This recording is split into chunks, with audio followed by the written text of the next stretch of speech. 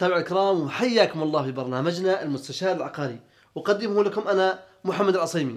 خير المال عقار ذو ريع يعطينا دوما. هو أصل فتملكه يغدو لك كالولد البار.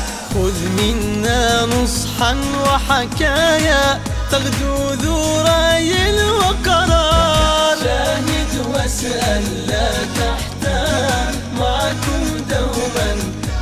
مستشار مستشار في برنامجنا هذا سوف نتطرق إلى أفضل الطرق لشراء وبيع العقارات الأساليب الفعالة للاستثمار العقاري صناعة الفرص العقارية وطرق اختيارها وغيرها من الخطوات والطرق الفعالة في هذا المجال. حياكم الله بالحلقة الأولى واللي راح نتكلم فيها عن أفضل الطرق لشراء المنزل. المنزل هو البيت المستقل وهو المكان الأساسي للمأوى والسكن. والمنزل نتملكه بطريقتين. إما بشراء أرض ثم البناء عليها أو بشراء منزل جاهز من الغير. وفي كلا الحالتين يجب حسن اختيار الموقع وهذا الأمر في غاية الأهمية. الأمر الأول في حال شراء الأرض للبناء عليها يجب مراعاة الأمور التالية. أولا تحديد المنطقة الجيدة ويفضل اختيار المناطق الحديثة والأكثر تنظيما. ثانيا تحديد المساحة المطلوبة للبناء. ثالثا معرفة خصائص التربة للموقع لأن التربة الجيدة وغير الرطبة لها دور كبير في الحفاظ على أساسات المنزل ومنع تهالك الجدران وهبوط الأرضيات مستقبلا. وقد نلاحظ وجود هذه المشاكل لدى كثير من المنازل التي لم تراعي هذا الأمر. رابعا مراعاة التوجيه الجيد لحركة الشمس واتجاهات الرياح ويفضل توجيه المبنى لمواجهة الرياح الشتوية الباردة أو الحاملة للأتربة. خامسا التأكد من سلامة الوضع القانوني للأرض التي قمنا باختيارها عبر مراجعة الجهات المختصة لتجنب المشاكل التي لم يتم الإفصاح عنها من قبل البائع. سادسا معرفة نظام البناء في المنطقة والارتفاعات المسموحة ونسبتها على قطعة الأرض ويمكن معرفة ذلك من خلال الاطلاع على بيان التخطيط العمراني الصادر من الجهات المختصة. سابعا يجب مراعاة توفر الخدمات الضرورية في المنطقة مثل الكهرباء والمياه والصرف الصحي وغيرها من الخدمات الأساسية. ثامنا مراعاة سهولة الوصول إلى الموقع. كن مستعدا للفرصة. فالمنزل ذو المواصفات الجيدة والسعر المناسب لا يبقى طويلا. وفي ركود السوق والأزمات المختلفة تتوفر الكثير من الفرص الرائعة.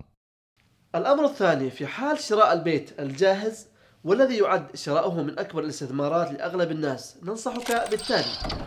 أولا حدد احتياجاتك بالمنزل كمساحة الأرض والحديقة وتفاصيل المنزل إلى آخره. ثانيا حدد مبلغ الشراء المتوفر لديك وقم باستشارة خبير عقاري.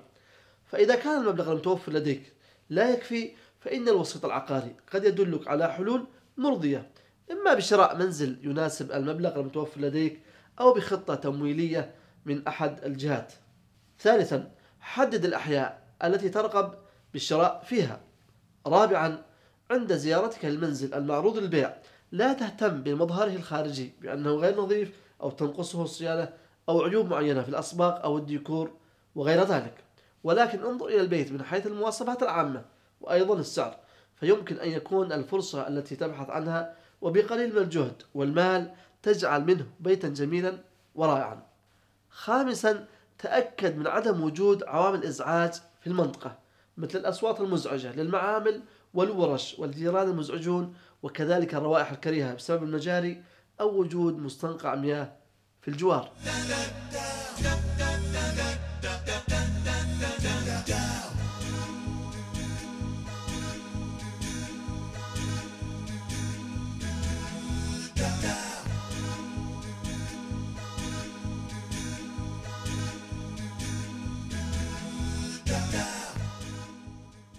وجود الأحياء العشوائية وغير المنظمة والتي لم يتم تخطيطها بطريقة صحيحة أو المناطق التي تشكل خليطة من المنشآت السكنية والتجارية وحتى الصناعية لا تزال موجودة في كثير من الدول حتى يومنا هذا.